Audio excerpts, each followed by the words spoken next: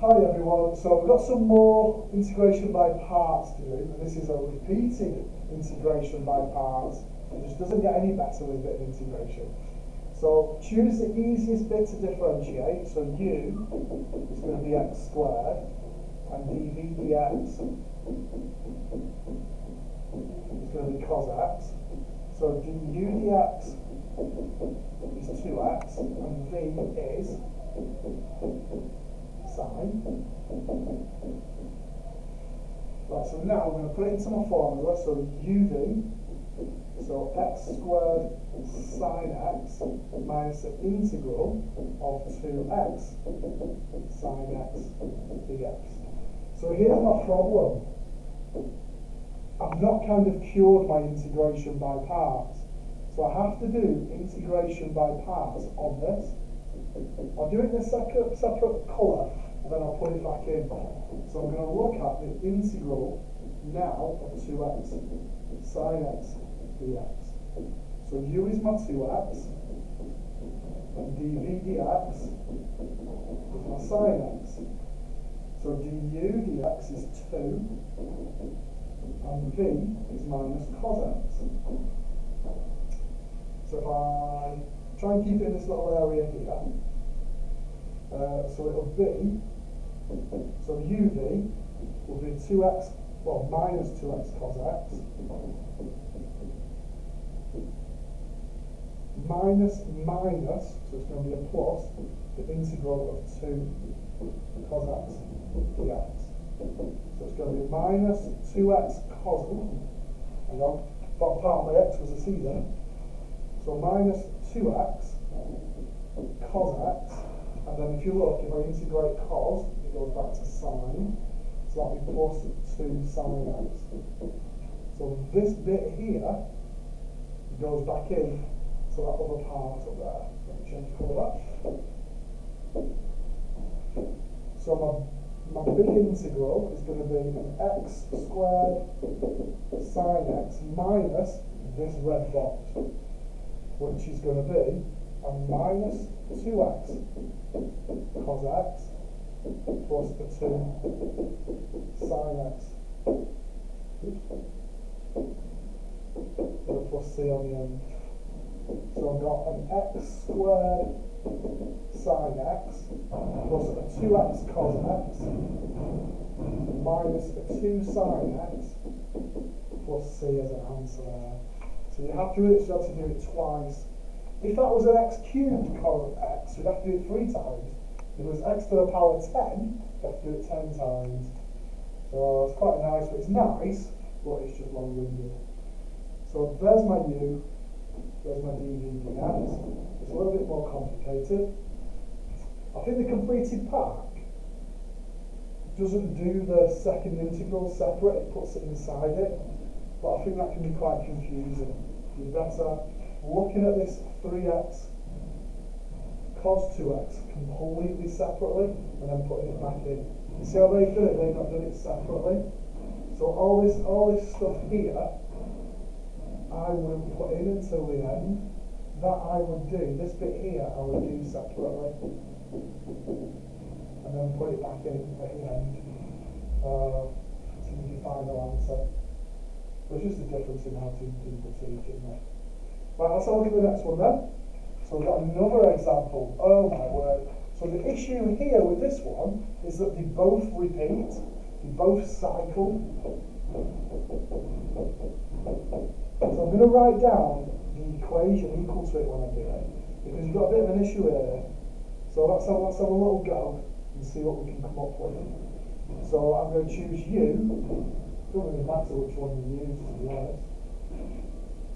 Um, I'm going to use u is e to the x, which doesn't follow the pack, and dv dx is sine 2x. So because they both cycle, I'm going to cheat.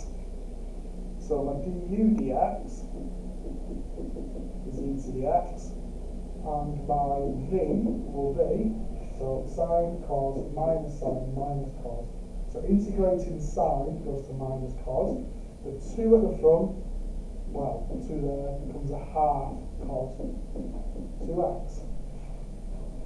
So I'm going to write down the equation this time, the integral of e to the x sine 2x dx is uv, so if I put them together, tidy it up straight in one go, minus a half e to the x cos 2x minus the integral of minus a half e to the x uh, cos 2x.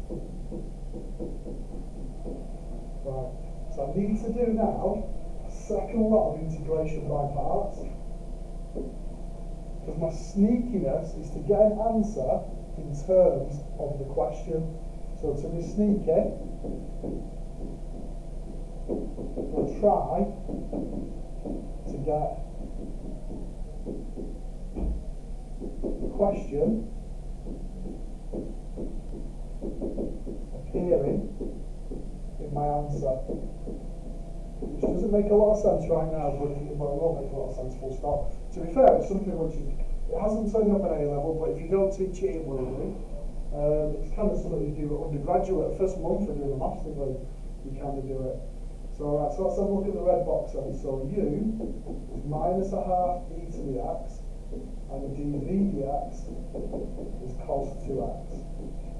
So du dx, oops, that's a lie, du dx is minus, hang on, oh, writing doesn't look nice.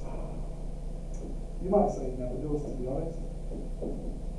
But I do the best I can do.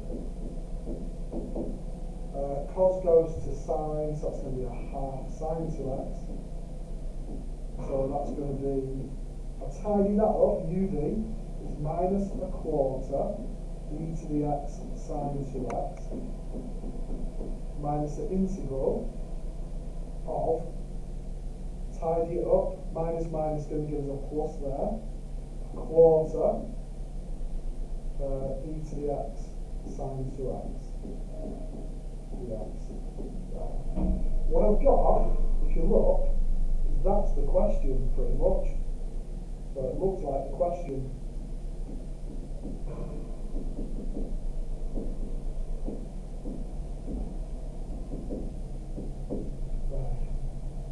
go back up here now. I've got to tell you, write quite small. so the integral of e to the x sine 2x dx is, I have to write really small, so it's the minus a half e to the x cos 2x, minus a half e to the x cos 2x, minus all of this bit, so I'll switch the signs on it, so that's going to be a plus quarter e to the x sine 2x minus the integral of a quarter e to the x sine 2x dx. So what I do is I get a little bit sneaky with what I'm doing. I'm going to put this bit on the other side now. So I've got the, the question on the other side. let me try and give myself a little bit more space, if I can.